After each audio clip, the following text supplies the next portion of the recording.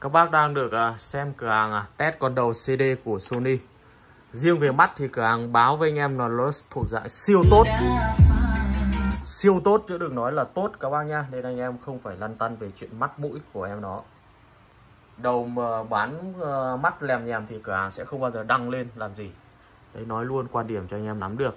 Bề ngang của đầu là 43 Mã đầu là CP770 Giá chỉ 2 triệu đồng cho anh em. 8 lần giải mã này 8 lần 8 lần lọc tín hiệu này, Đấy. Mắt đọc siêu tốt hay không anh em chỉ cần bấm tín hiệu bài hoặc next bài là sẽ biết ngay. Với những bác nào đã chơi đầu lâu năm hoặc là biết cách chơi thì sẽ biết cách thử đầu. Còn những con đầu kém thì anh em bấm số bài nó sẽ không bao giờ nhận được, hoặc là bấm next bài sẽ không bao giờ nhận được. Đấy. và khi cửa hàng đăng một sản phẩm lên thì phải là sản phẩm tốt, sản phẩm chạy nuột là ok thì cửa hàng mới đăng đoán các bác nhá. Anh em em, anh em nắm được quan điểm để rõ, để mua hàng cho nó yên tâm. Đó.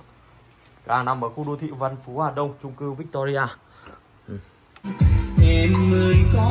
Rồi, bấm chọn bài này. Đĩa này là đĩa cửa hàng tự ghi nhá nếu mà mắt kém thì thách bấm thế là chạy được các bác nhá đếch bài nếu mắt kém không bao giờ bấm được.